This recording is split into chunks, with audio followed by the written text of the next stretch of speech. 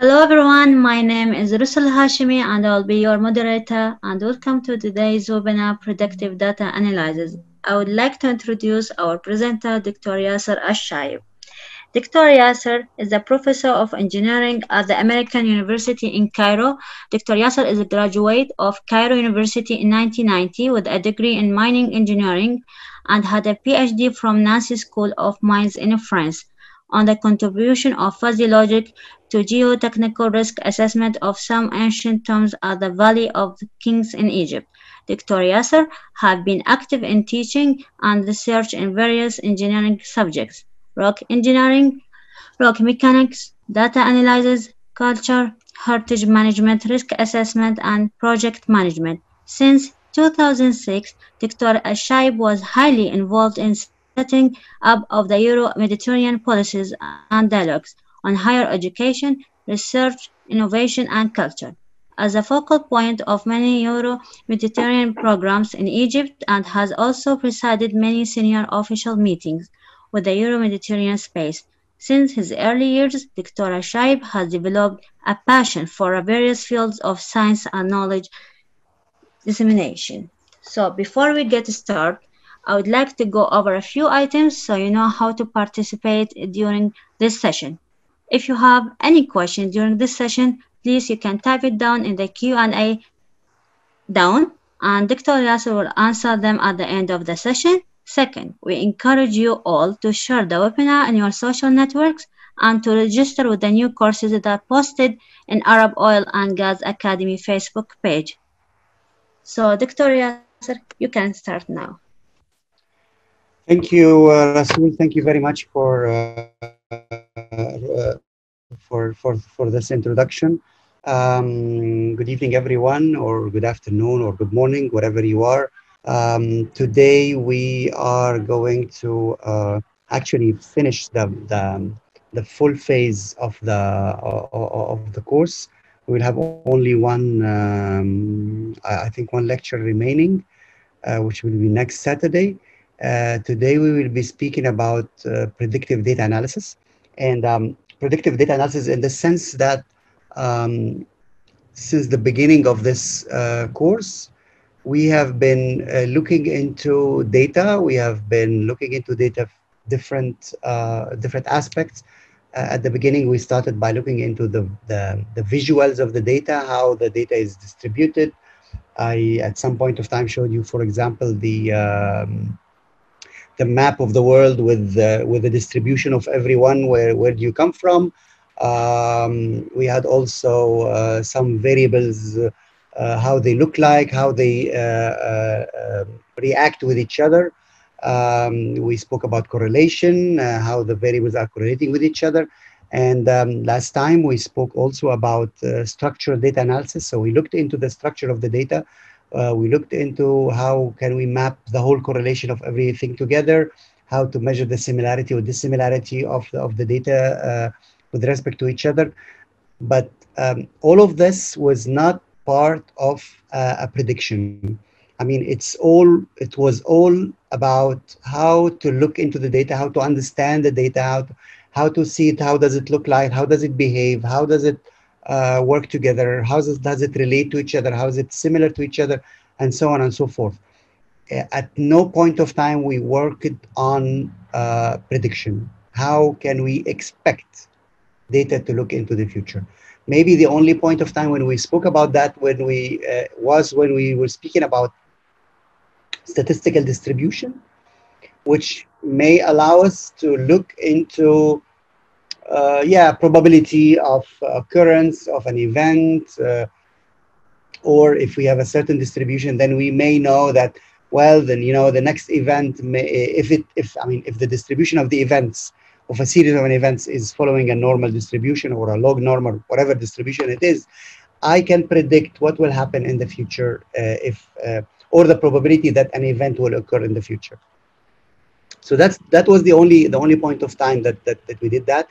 But um, most of the uh, I mean most of the uh, clients, if I can call it this way, that come to ask for data analysis for their data or that come with their data or many times when we have our own data, we always ask the question, how can we predict? How can we know that uh, uh, this thing will happen or this thing will not happen? How can we um, see, look into the future? We, sometimes we call it a forecast, sometimes we call it prediction, but I mean, it's, uh, it's, it's more or less the, the, the, same meaning, even, even in language. Today, I'm going to speak about two, um, two tools that we use for prediction. One of them is, um, uh, we call it the ANOVA, which is analysis of the variance. So usually we, we use the term ANOVA in, in, in statistics or in, in data analysis. And I will be speaking also about the linear regression or the regression in, in general. I mean, regression in general, but I will take the linear regression as, uh, as an example, as, uh, as one of the tools of the, um, of that. And I will show you a lot of, uh, um, I would say examples or, or, or, or, or disciplines where we have um, applied those, uh, those two tools together. Uh, analysis of the variance. The, the analysis of the variance, it's, um, it's, um, it's a predictive tool that would allow us to use history to predict uh, uh, the, the future usually the problematic that we have or the problem that we have is that we have um, a lot of variables together and um, usually i mean it works perfectly when you have uh, two groups let's say we have again we have um, we have collected the data of the of the 37 people that are attending the webinar now and in this data we have um, among them uh, let's say, um, a variable that is called undergraduate and postgraduate. And I would like to, to make a hypothesis that using uh, the, the, the, the, I mean, using this data, I can predict if we will be uh, 38 or 39 people attending this, uh, this webinar. I can predict based on the data whether this newcomer, this, this new person or this new two persons that, or this new N persons that are coming into the, um, into the webinars would be an undergraduate person or a postgraduate person. So I'm putting a hypothesis that actually the, the, the data of undergraduate group are different from the data of postgraduate group. This could be true or this could be not true, but I mean, this is usually the, the, the, the, the prediction uh, that, that we work with. If you, um, if you will consider that uh, gender is only male and female, then you can also use that, um, the, I mean, you can use also the, the analysis of variance to, to, to predict some, something new. If you, um, if you look into the behavior of a student uh, in a class, and then you have fail or pass as, uh, as marks at the end of the year, then you can also use that uh, analysis of variance to, uh, to, to, do that. If you, um, for example, if, if, if, we go to the oil and gas field, if you have the data of, um, of wells that have produced oil and others that have not produced oil, you can maybe also uh, put the hypothesis that using the data, I can predict what will be the status of that uh, of that oil uh, oil well? Will it produce oil or not produce oil, depending on the underlying data that uh, that that you have. And usually, the data that you have is uh, is could be completely. I mean, could be anything. Could be um, uh, uh, qualitative data. Could be quantitative data. Could be whatever. I mean, that's that's not a that, that that's not a problem. Um, the way it's used is maybe illustrated in this, uh, in, in, this graph, or in those two graphs. In those two graphs, we have here uh, two groups of, uh, I mean, this is a domain that I've worked with before. Um, we were treating here the type of uh, subsidence that happens um, uh, due to, let's say, underground works. In, in this case, it was due to underground mining. This is a, an area in, in France where uh, I have worked on, on this problematic. We had um, two types of subsidence that's happening that we observe on the, on, on the ground. And those types were two. I mean, we had brutal, which is like a subsidence that happens all of a sudden, happens very, very fast, and progressive, which happens quite slowly. I mean, we can observe it happening over a period of, let's say, one, one day. So in one day, this area will subside of, uh, will have a subsidence of like half a meter or one meter. While uh, the, in the other case, this brutal, it will have, I mean, this subsidence will happen very rapidly. And we wanted to know if we have, uh, I mean, we, we, I mean, of course, we studied the, the, the, the geology, we studied a lot of data from, from different uh, subsidences that happened in the past. And we wanted to know for other uh, regions. I mean, we have like, we had something like uh, 195 regions that were also undermined. And we wanted to know when the subsidence will happen, will it happen in a progressive way or will it happen in a, in, in a brutal way? And the reason why we wanted to know that is that if, it, if the, if the, uh, if the, if the uh, subsidence will happen in a brutal way, in a, in a, in a very rapid way, then we can not evacuate, for example, the, the, the population. So we need to take different measures for, for, for, for, the population. While if it will uh, subside over a period of one day or two days, then, well, you can maybe install um, a monitoring system and then look into the, well, what's happening like that. I'm, I'm only explaining this in order to give you the, the, the feeling of, of, of, of, of how to use it. Um, if I'll speak about the oil and gas field, for example, I'll come back to that, to that example.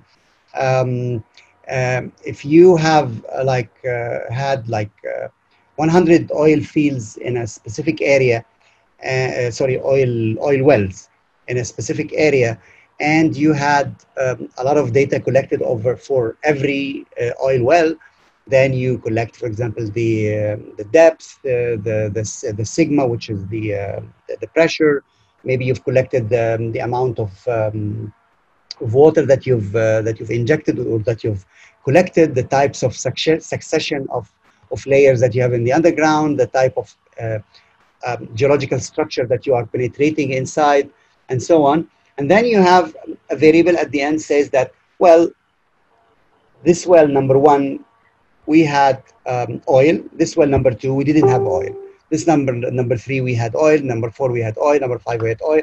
But then number 19 or number 20, we didn't have oil. So uh, putting this data together, you can build a model, a statistical model or data uh, or a data model that will tell you, well, okay, if uh, tomorrow someone will come to you with, I mean, within the same maybe parameter of, um, uh, of, of, the area, and will tell you, listen, I have this uh, new area, area where um, I have observed that we have this geological structure, this uh, depth, this sigma, this so and so and so, all the data that that you've done, that you've collected over the, the, the 100 uh, uh, oil wells that you've done before. And I would like to ask, or you would always want to know if we will really go and dig this uh, oil well, what is the percentage, what is the probability that I will get oil or not? Using data analysis, you can actually do that, which will save you a lot of money, of course, because I mean, digging an oil uh, oil well will cost a lot of money. So doing it with the data, it's it's very um, it's very interesting. And the way we do it is that like we use graphs like uh, the, the one uh, in front of you, and I will show you um, uh, the, the, statistical or the mathematical uh, reasons behind in the, in the next slide. So you can see, for example, on the, on the, on the left-hand side, this graph on the left-hand side, if you have measured this variable, let's call it variable x. I mean, I know the name of this variable, but I don't want to to disturb you with the, with the name of the variable itself. Let's say that this variable, we'll call it variable x. Uh, if I will measure, I mean, I have observed here that usually all the progressive uh, uh, uh subsidence, when they happen, they happen in areas where the uh, variable x value is ranging from, let's say, 0.45 to 0.55 or 0.56. All the brutal ones happen when you have uh, um, the value of the same variable that is 0.65 and 0.75, for example. So if tomorrow, I mean, if in the future, I will come back to you with uh, uh, uh an area where this, where the value of this variable x is 0.5, you can certainly predict that. I mean, you can look into this graph and you will say, okay, if it's 0.5, then according to the history that I have, according to the model that I've built, most probably the, the, the subsidence will be progressive, will not be uh, brutal. On the other hand, if I have measured variable x for a, a new zone and I have found that the, that the value of variable x is 0.7 or 70% or whatever, I mean, whatever the, the, the, the type of the, of the, of the numbers that, that we use, you can deduct saying that, well, if variable x value is 0.7, then most probably this will be a brutal uh, uh, brutal subsidence. Uh, on the other hand, we have other variables, like this variable, let's call it the variable y. And um, in this variable y, you can predict some, I mean, you can predict something in the future, but you cannot not predict it all. For instance, if I will come and tell you, in the future, I mean, I have a, a zone that has the variable y with the value of 4, you can deduct yet well, you know, uh, uh, most probably this uh, uh, zone will have a brutal subsidence because you have here 0.4, uh, sorry, you have here 4, and it's coinciding with a, a brutal subsidence.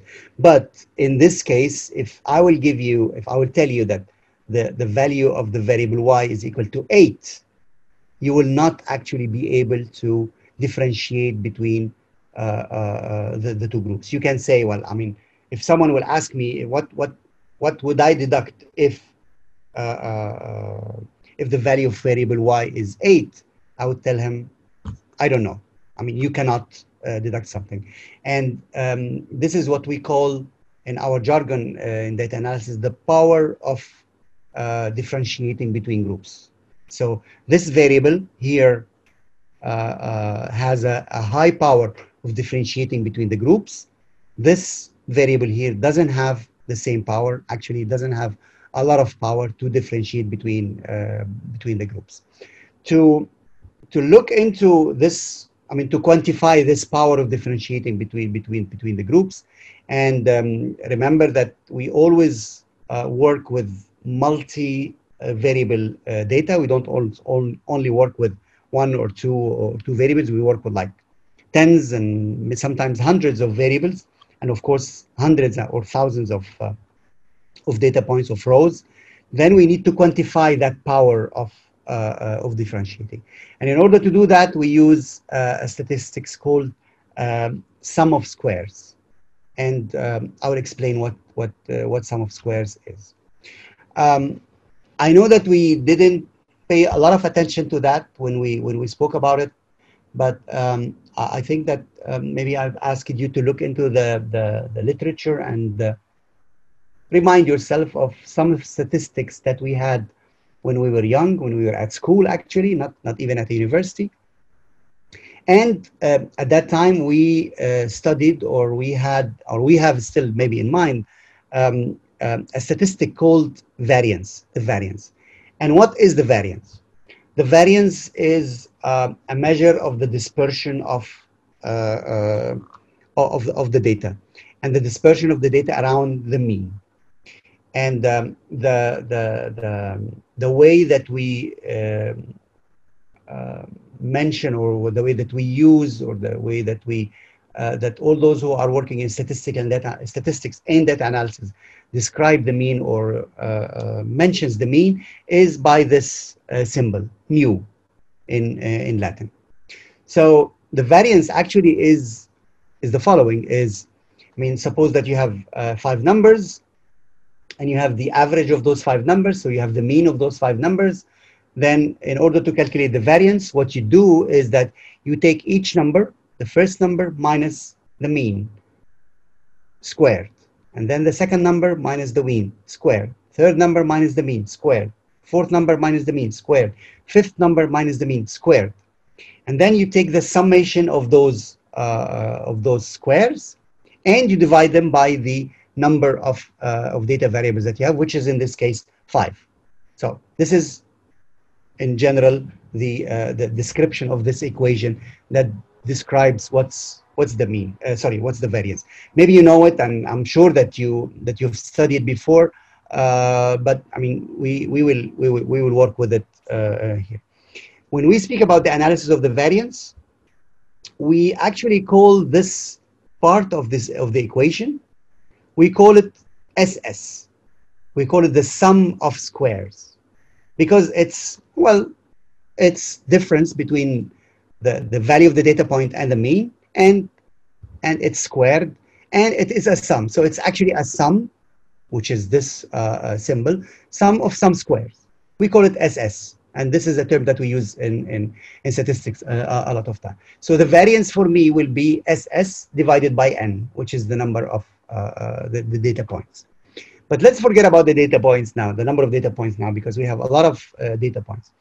Uh, statistically speaking, and math or mathematically speaking, I would say, we've been able to to describe or to calculate uh, that the total variance of um, a whole bunch of, of, of, data points is equal to the variance inside the groups with an S to the variance between those those groups. So I should here, uh, actually I should stop the show here and and go here and add an S here. And let me uh, project it once again. Okay, because there was an S that is uh, that is missing. So the total variance is the variance inside the groups plus the variance between the groups. And in modern terms, as we, as you know, we, we all work in the era of networking and internet and, and so on. So we call it the, the variance intra, which is the variance inside the groups, plus the variance inter, which is between the group. And when you think of this, of those two terms, inter and intra, and when you think about intra network and internet or intranet and internet, it's actually the same. It's between networks, that's the, the internet, it's between networks, and intranet, it's within the, the, the, the net. But anyway, I mean, this is just uh, the, the modern way of, of, of, calling things. We, I mean, uh, usually in statistics, we will use total variance is equal to the variance inside the groups plus the variance between the groups. Now, what we do is that, I mean, uh, uh um, um, I think he was a, he was um, uh, he was a British mathematician um, around the 19th century. He have invented this statistic, this equation, this number. He said that if we will divide SS between the groups by SS within the groups, we will get a number that is called F. And if this F is growing higher, I mean, as long as this F is growing higher, then this variable is able to differentiate between the groups. So the difference between the groups is getting higher. And this is what I called in the, in the last slide, the power of, uh, uh, of differentiating between the, uh, between the variables.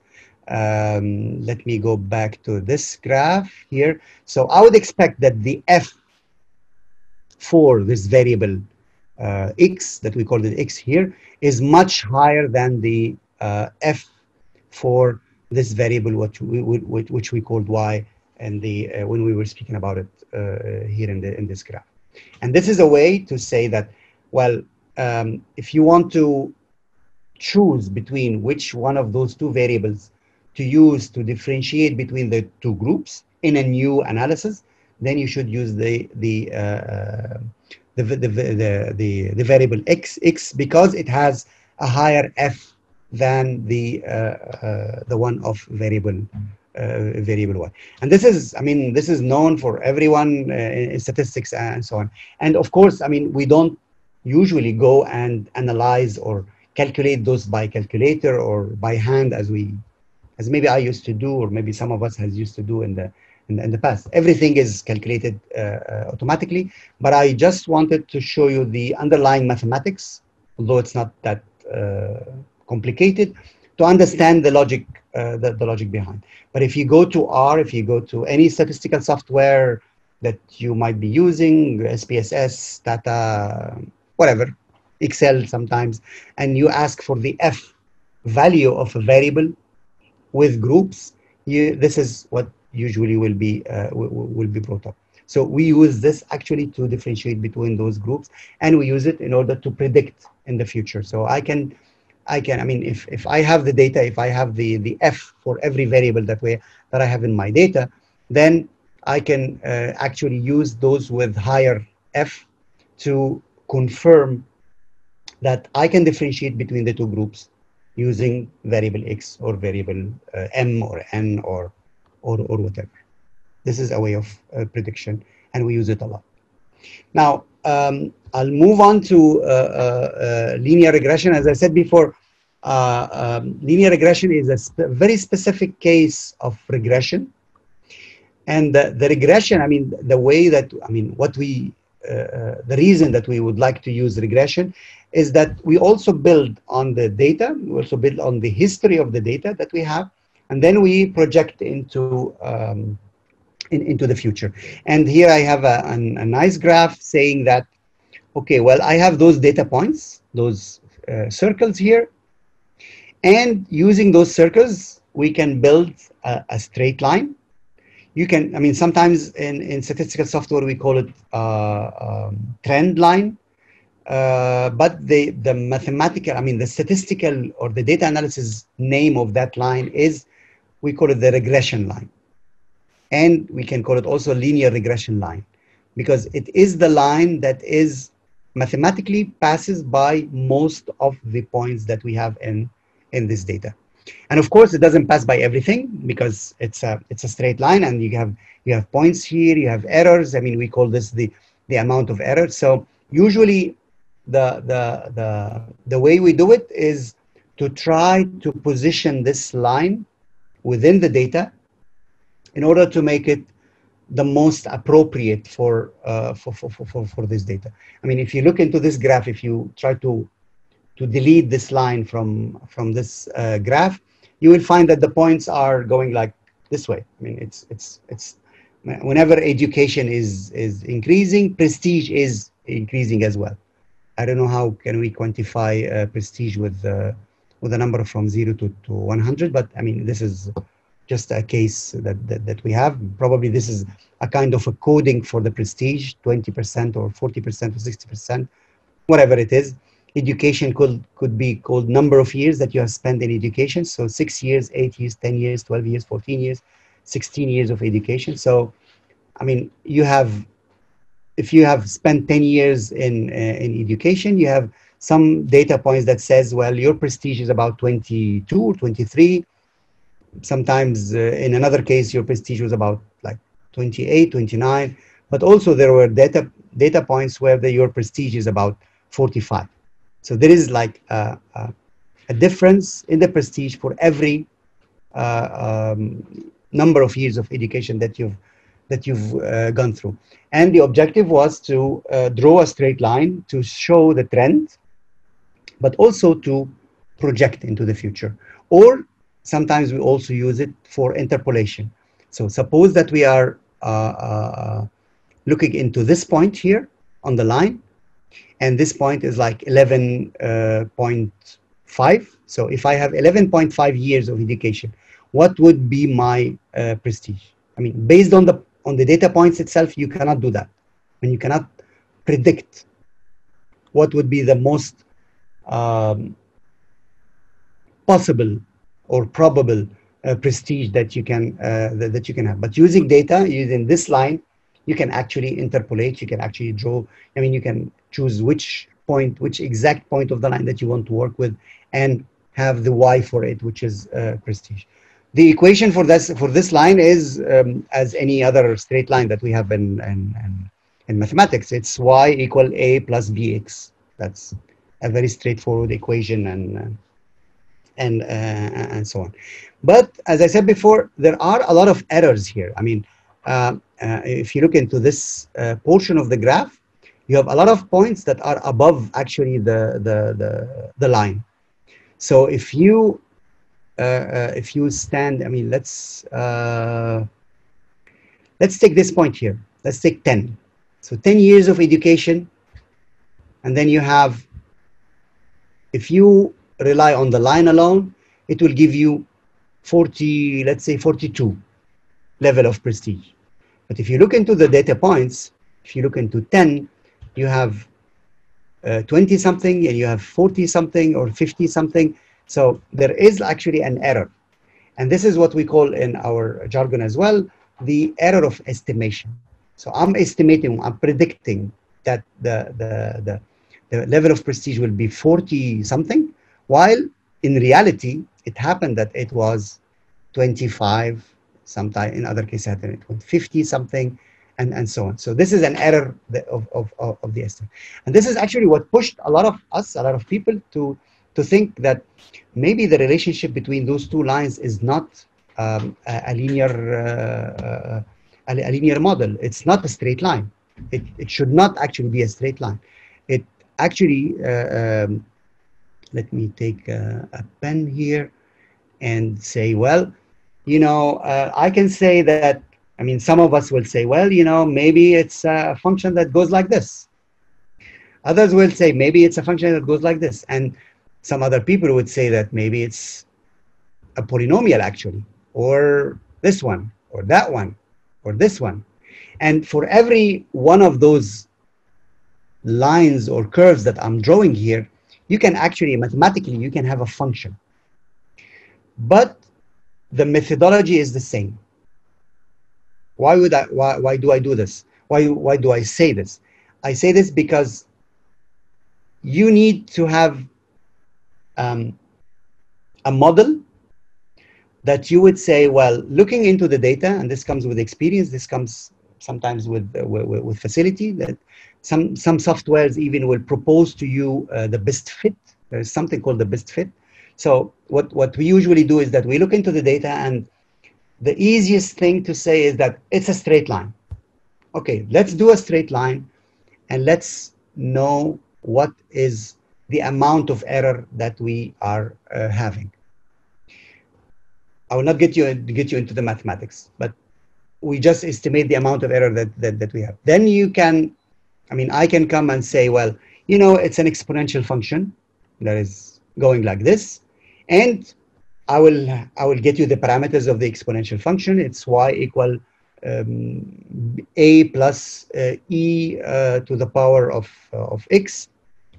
And let's construct this exponential function. And we put ex this exponential function inside the data, inside the data points, and then we calculate the, uh, the error, the amount of error. If the amount of error is less than the amount of error or straight line, then an estimation using uh, uh, uh exponential function is, is more appropriate, I would say. Well, someone would say, well, you know, it's a parabola or a hyperbola. Why not? Let's try the parabola. Let's construct a parabola y equal a, uh, a plus x square or x squared plus uh, something. And uh, let's look into the error as well, the error of estimates. And if the error is less, then maybe the parabola is more plausible or is more doable than the exponential function is more than the, uh, uh, the, the, the, linear function that, that, that we have here. Some, some other people would say, well, you know, it's not even a parabola. It's not an y equal x squared. It's y equal x uh, um, cube, x to the power of 3, which is a function that goes like this. Or uh, maybe some other people would say, you know, it's, it's following a, sine, uh, a sinusoidal function, which is a cyclic function like this. This is the, the, the, the data that I'm seeing in, in front of me.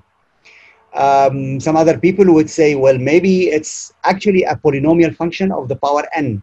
So it's y equal x uh, power uh, 5 plus uh, x uh, power 2 plus, plus, plus, plus, plus. You can actually go and try to predict the, the function that describes the data that you have as much as you like. There is no limit for that. And uh, what's actually judging which function is more appropriate or predicting more or most suitable for my data than, than another one is actually the amount of error that, that, that we have. So I can imagine that if I would put, for this very specific case, if I would put only a straight line, the blue straight line here, I think that if I will have a, an exponential function, it will be more uh, appropriate than a, a straight line and the amount of error would be less than the, the, the, the straight line. Um, but the, the, the, actually the judging, I mean, there are two judging factors here when we think about, uh, about this regression. The, the first judging factor is, of course, the amount of error that you have. And the other judging factor is the shape of the function that we will be using. And I will give you a very straightforward uh, uh, example for that. COVID-19. Everyone looked into COVID-19 from a data uh, analysis point of view because something new, we didn't know about it, and we wouldn't know, and we wanted to know when this uh, COVID will end. Will it ever end or not? Uh, I mean, we looked into a, a lot of, um, I mean, we asked a lot of questions. And then came those who are actually studying epidemiology, studying viruses, studying spread of viruses all around the world, everywhere uh, here and there. And they said, you know, usually the spread of viruses or the epidemic is always using, uh, is always following this function, which is similar, similar to the, uh, to the normal distribution. So at the beginning, you have very low rate of infection, and then it increases with time, and then it accelerates with time, and then it reaches a critical point, and then it starts to decrease, and then the epidemic will end. So the good news are is that for every epidemic, there is an end. The bad news are that we don't know the parameters. I mean, if you put here days, if you can, if you can say that it started in, in January, in month one, uh, we don't know when it will end. It will end eventually at some point of time, but when we don't know. This could be month 12, which is December, next December, and it could be also month 36, which is like December of the year 2022. We don't know. And what we don't know either is this inflection point, when it will start to decrease and when it will start to go uh, uh, accelerating. We can observe things, but we don't know. What actually every epidemiologist and data analyst in the world that has worked on the uh, COVID-19 did was to try to fit the data that we collect from everywhere in the world to this uh, uh, curve that we call it a logistic curve, which is like the the S function. So we, take, I mean, we have an, and and I mean, you can search on on Google uh, the word logistic regression, which is the same uh, tool, but the, the shape of the function is like an S. So they would fit the data to this uh, logistic regression function, and then you take, uh, uh, uh, you, I mean, you continue the, the, the curve using similarity or using like mirroring this the, the, this function to know when it will disappear. And um, one one other thing that that that we have this discovered is that every country has its own uh, uh, uh, logistic curve or let's say function or let's say uh, curve it, every every country has its own curve and this is also uh, very logic i mean because the behavior of people in egypt is different than behavior of people in italy is different than behavior of people in the us different than the behavior of people in in um, in australia and we also uh, started looking into similarities of populations. So when I will, actually I did this myself, when I studied COVID-19 propagation in Egypt, I tried to look into countries that are similar to Egypt. And the, the country that I found that is similar to Egypt behavior-wise, I mean, uh, in, in, in the propagation of the, of the, of the, of the, uh, of the virus was Peru. And don't ask me why Peru, because I don't know. I mean, it happened like this. I mean, the propagation of the virus in Egypt or the, the propagation of the virus in Egypt, according to the data that we have collected, is similar to the propagation of the virus that we have in, in Peru. And I tried myself to fit the, the, the model that we have to the, to the, to the for example, to the, um, to the German model uh, that has preceded Egypt, to the Italian model that has also preceded Egypt, to the Chinese model that has preceded Egypt, but no luck. I mean, it didn't work. But I mean, I developed some some models, and this is why you would you, you would you would you would hear people in the media saying, "Well, you know, we have passed the inflection point. We have passed the peak." I mean, everybody spoke about the. I mean, around month May, June, a lot of countries around the world started speaking about the peak. We have passed the peak. Okay, it is dissipating, and the peak was this point. And the bad news is that you you only know that you have passed the peak when you have already passed it because you cannot predict when you will when you will pass it but the good news are that once you pass the peak you know that it will be going uh, uh, going down. And that's what actually was going in in many countries around the world. But we still observe the data of the covid and um, uh, a lot of countries as well starting observing that it's actually it did like this. So it dissipated but didn't reach zero. And then it started going up again. And this is the case of for example of spain now i mean if you look into the data of spain the number of uh, of uh, of uh, of cases that we have in Spain of COVID-19, it went up past the peak and went down, and then recently, I mean, I'm, I'm speaking about about two three days, the the past two three days, the curve is unfortunately going high. Will it go high and go? Uh, let's use colors here. Um, blue. Would it go high and be like this and go down because we know that it will go down? Or would it go high and be uh, let me use the the green and it goes like this. This we don't know. But we know that it, we can fit it to, to, to, that, to that model. And of course, I mean, learning from the Spanish experience, you can build on, uh, uh, uh, you can build uh, uh, an Italian experience, or you can build an Egyptian experience, or you can build a US experience. I mean, we always learn from, from, from, from each other. But uh, we all know, I mean, those who are working in epidemiology will tell you, if you, if you will ask them, they will tell you that it will come down one day we don't know when, but it will come down. And there is an inflection point. There is, uh, sorry, there is an inflection point. There is a peak point. So let's, uh, let, us do it this way. And all of that, all of what I've been saying for the past, like, I think 10 minutes now, is about regression. So you have data and you have a model and you are trying to fit the data to the model. And you continuously do that. I mean, you do this model today, and then you look into the prediction that you have for tomorrow, and then you look into the data of tomorrow, and you compare it to the to the to the prediction that you've done yesterday, and you compare these two together. If they are matching, then fine. Then my then my my my uh, my model and the parameters that I'm estimating for the model is doing are doing fine.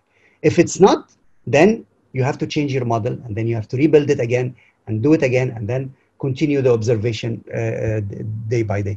And I actually, I mean, I've done this myself for, for, for, for the data of, of COVID-19.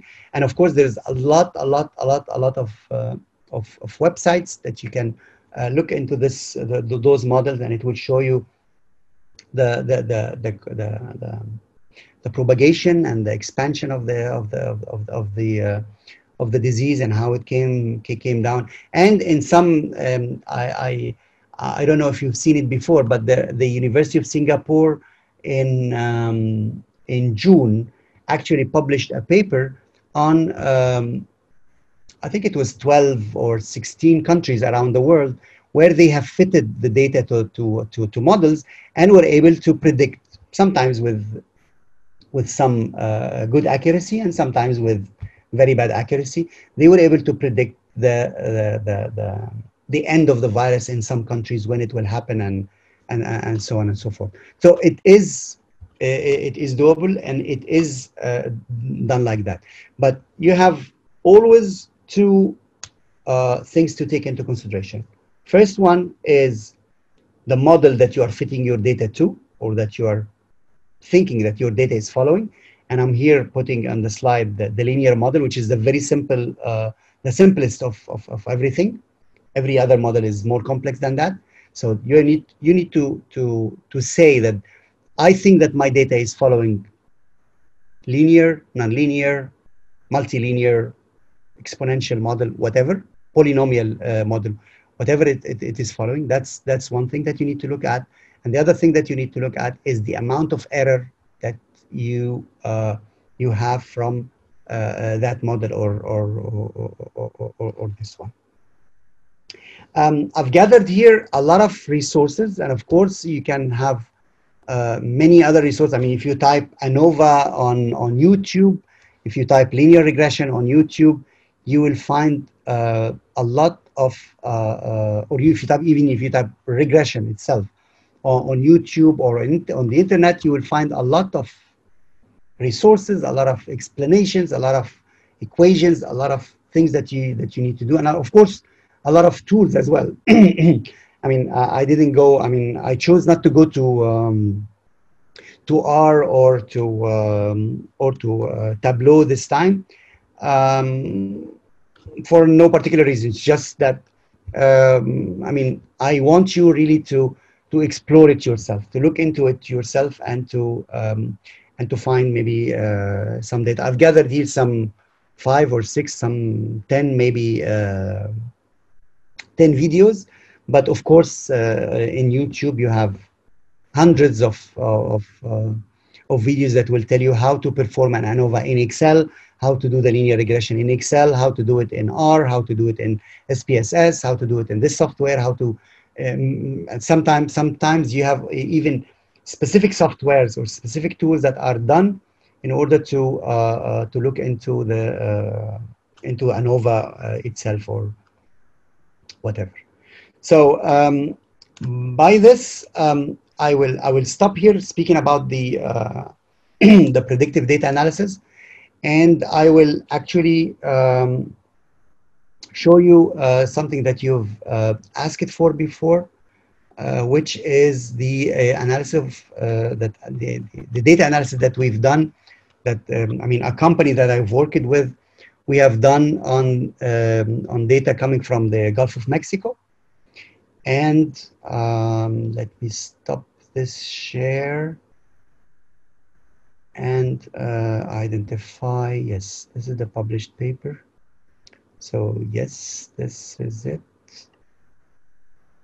I'm sharing the screen. This is, well, this is uh, this is the paper that that, uh, that I spoke about. This is the data that come that came from uh, Gulf of Mexico, and at that time, 2008, um, I was um, working and a shareholder in a company in Egypt called Informatics International. And um, our main work was to uh, was actually to work on data mining in the oil and gas field.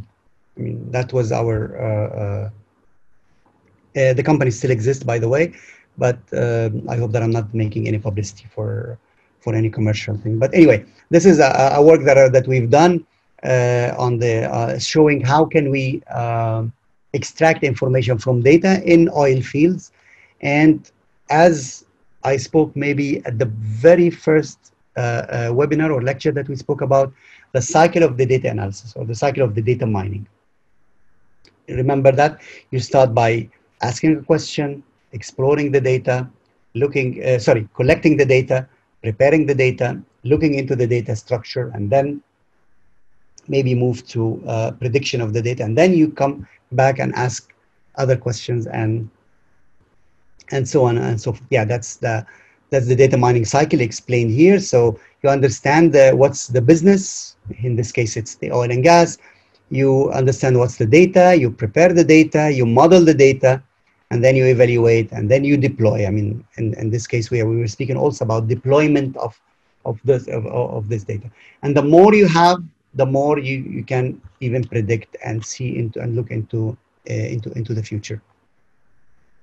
So this is the, the, the uh, case study, and you will see here we have this is the data of injection rates. So we were comparing different uh, fields in terms of injection rates. Well, sorry, different wells. So well one, well two, well three, well four, five, six, and this is the the, the the the dates and the injections that were that were done. And of course, we would tie the injection rate to the production rate in order to see what's actually the, the question that we were asking was what is the uh, optimum injection rate that we should use for uh, uh, the uh, the oil well and what is also the quality uh, the sorry the parameters of the water that we have to inject in order to obtain the best uh, the best solution because we've discovered also that the, the quality of the water, of the components of the water, the amount of oxygen, chlorine, and so on in the water, it's a factor that plays a lot with the injection, with the injection, and also with the production of um, of, of, of, the data.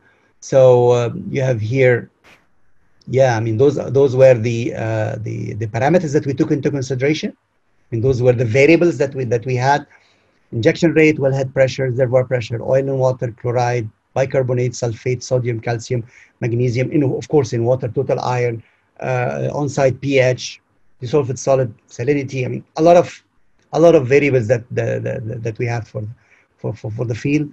And we were able to describe the data. We were able to say, uh, I will show you here, um, yeah, like the descriptive model that we've uh, that, that we've seen here. So we had here some variables that were uh, negatively affecting the, uh, the production rate, some others that were positively uh, affecting the, the, the, production rate. And we were able to know that looking into the structure of the data. The next, you see here, I mean, the, the description is of course here, the, the variables that are proportional to the injection rate or and so on. Um, we, we mentioned them here. Um, here, when we when we when we when we wanted to build our predictive model, we didn't actually look into uh, the logistic regression or the linear regression that, that we've done.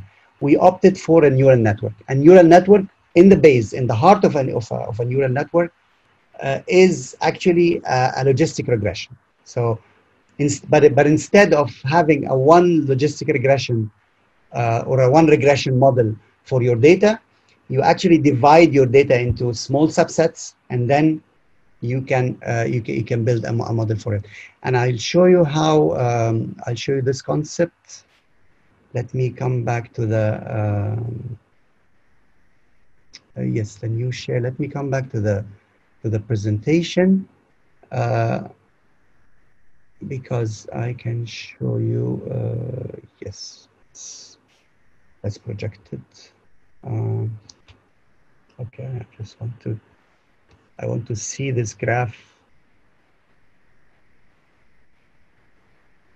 Okay, well, um, in order to understand how, um, I mean, the logic behind is that you can, you can actually come to this, uh, to this graph and say, well, you know, this area here, I see a trend that is going this way, a linear trend that is going this way.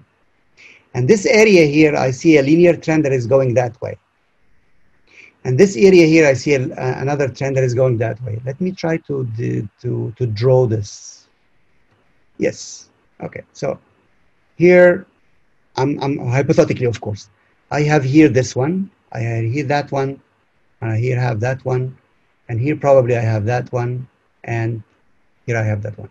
So it's, I mean, actually what, what, I'm, what I'm drawing here is not a, a polynomial function. It's a function that is actually dependent of where you are in the data. So this line here, for me, I mean, supposedly, hypothetically, is the best function that describes the behavior of this data, for example. Now, no mathematics in the world can produce a mathematical function that will fit this those lines that I have brought here. And this is where actually neural networks comes in, into the game, or uh, what I would call, um, yeah, I mean like uh, uh, cutting the data into uh, small portions. So you can say, well, if the data values x is between six and eight, you can use this function. If the data point is between 8 and 10, you can use this function. If the data point is between 10 and 12, you can use this function. If the data point is between 12 and 14, you can use this function. If the data point is between 14 and 16, you can actually use this function. And actually, if you think about it, this is exactly what neural networks would do but you don't see it. I mean, you don't see those functions. The neural networks will, will look into the data, into your data, and will try to understand that uh, which parts of the data are, um, are fitted to which model. We don't call it model in this case, we call it some other names, but I, I will not uh, I, will not into get into the details of that one. But the, usually what, what the neural networks would do is that it will collect different small models, smaller models will cut the model, the, the, the curve into smaller uh, smaller nodes. We call it we call it nodes, and then it will uh, simulate it uh, um, in, in, in, such ways. Um, its um, its advantage is that it's very intelligent. It's very advanced. I would say and its disadvantage is that at the end you don't have uh, an equation i mean and sometimes we as humans we like to see equation to to uh, to, to look for so i'll go back to the uh, to the paper which is yes it's here so this is what we've done here that uh, we we thought that uh, uh, the number of variables that we have and the complexity of the behavior of the water injection with respect to the uh, to the production rate is very complex that we cannot actually uh, use that. So you see here we had some uh, different models. We def defined different models, different neural networks. And as I said before, you don't only need the model, you need also the amount of error. And this is what we've had, what we have, what we have here, what we had here which is R square. R square is a measurement of the um, goodness of fit. So the higher the, the R square, the good is, uh, is, the, is the model. And actually what we have found is that model A, B, C, D, and E are all having like 86%, uh, around 86%. And here comes another, um, another skill, I would say. Um, it's um, optimization. So Model A will give you an accuracy of 86% in the prediction, but it uses 12 variables, 12 input. Model B gives you even higher uh, uh, uh prediction rate, but it uses only 11 variables, not, not 12. And then you have model E, which gives you 86% as well, and you have only eight variables. And this also plays a lot for uh, for, for, for people will working in the, uh, in in the oil and gas or in any in any domain. Um, shall I invest in measuring 12 variables in order to get 86%, or it's better to use those only eight variables and get a similar or sometimes less. I mean, sometimes we I mean, um, if I have, suppose if I had here 86% and then I had here like 80% with only eight variables, I would have, personally, I would have gone for uh, uh, this model and use it better than, uh, than that one because it's, it's worth it. I don't need much more uh, variables to, uh, to measure. So sometimes you weigh your, uh, your options. how can we, how can we do that? Uh, well, uh, there, there, are some conclusions about it, and uh, of course, some references you can look at, and you can look into the data, and so on and so forth. Um, I've passed this uh, this paper to um, uh, Professor Garhi, um, and I think that he can also pass it to you. It's it's public uh, paper in 2008, so it's more than even 12 years now that it has been published. Enjoy it. And definitely you will find a lot a lot a lot a lot of similar papers maybe better papers that are published on the same subject. If you look into uh, uh, i mean the, the, the literature of um, oil and gas and data analysis and and, and so on. Um, i think that i have finished for for for today i'll go back to the uh, to share the presentation again um, to say that uh, wrapping as a wrap up, um, today we've spoken about analysis of variance as a tool for uh, prediction, and we've spoke also about uh, regression as a tool for, for, for prediction. And ANOVA is to measure. It's 19 hours. Sorry, ANOVA is to, to, to measure the capacity of um, a variable, a numerical variable, to differentiate between uh, between two groups. And it's usually a numerical variable: one, two, three, one, one, five, zero, one, whatever uh, we code our our variable into. Um, it uses the sum of squares, as I explained, and the sum of squares is a derivative of the variance, so it's almost the same thing. And you have here a statistic called f. Whenever the f is increased for a variable, the difference between the groups increases, and this you can find uh, everywhere. Now, linear regression. Uh, the the reason for using linear, the reason for using regression actually every any any kind of regression is that we want to evaluate um, the trend or we, we want to fit the data that we have to a model uh, whatever the model is here i'm i'm just proposing the the linear model but as i said before there is a, zillions of, of other models and inventions and and people would invent different models that uh, that fit their data and uh, we spoke a little bit about uh, logistic regression, which is the case of COVID-19, because we know that this is the model that, that fits um, propagation of viruses. And uh, finally, I showed you the um, this paper that has been published in 2008 about the uh, oil and gas field. I have finished, and I hope that uh, you have a lot of questions to ask. And please, please, please, please, again, as I repeat every time that we have a lecture together, go to the internet, look into those uh, notions that I spoke about. I know that I don't say much. I don't go into deep into details because it will take us maybe uh, 50 or, or, or, more lectures to, to go into the details of every word that, that, that we say. But I trust that as a researcher, as researchers, as you are, as, as students, as you are, if you are interested in this subject, then you need to read a lot about it. It's not enough to just to attend a, a course or two or a lecture or two or, or so on. You need to look into the internet and and and, and search for information and you will get a lot of knowledge. Uh, I'm sure that, that, that, that, this will be done. Thank you, Dr. Yasser. Thank you. Thank you so much. I already have a few questions. Omar asked, can two areas have such similarity in structure and parameters. So we can use the data model built for one area and apply it to another area. Um, uh, well, uh, this is very uh, tricky. Uh, it goes by uh, experience. I mean, what I what I have experienced myself is that um, if you look at it from a macro point of view, the model works um, everywhere. Like I said, in COVID, in COVID, we knew that the model is um, like uh, looks like a normal function, normal distribution function. We knew that, but then if you have a model from uh, uh, from Egypt and you would like to apply it to Italy, um, this is very risky.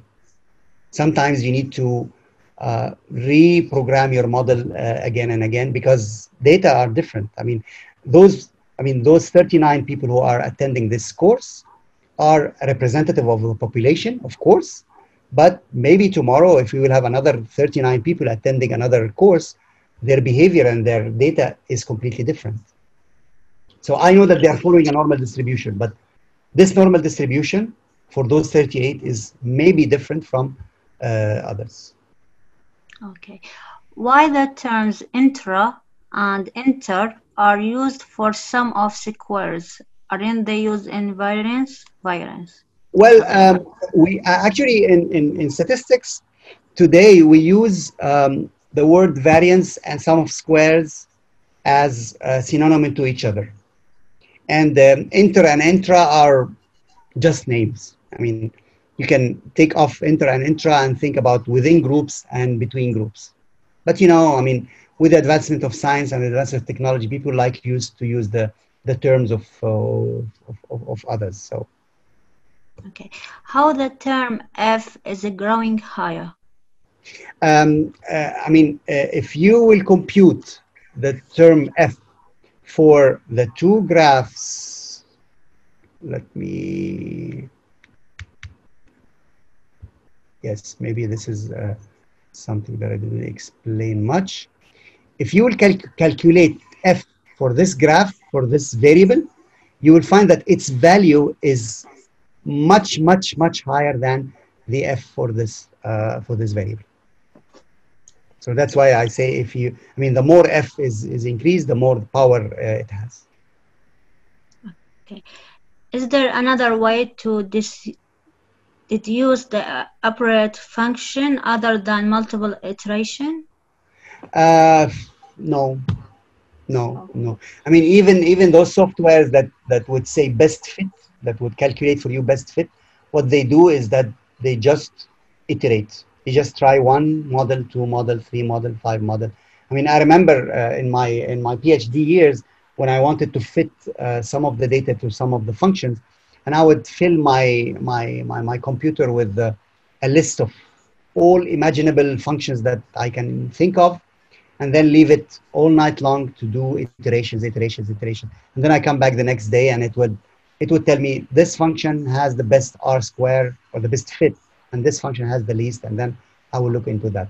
Sometimes we rely on uh, on experience, as I said before. I mean, we know, or people, humanity knows that um, uh, epidem- uh, spread of a virus is following a, a, logistic function. So it has to be a logistic function. I mean, it cannot be something uh, something different. So this, but this is based on experience. This is not based on on anything else. Okay, there is a request from Abdul Bakr. Uh, if you can share the data that you, they will be working on it. Um, this is actually um, a coming back question. This is the second time that I asked this question. And um, unfortunately, um, I cannot. Data is um, sometimes, I mean, it's, it's, a prop, it's, a, it's a property of the client sometimes. And sometimes the client doesn't want to share his data with, with anyone else.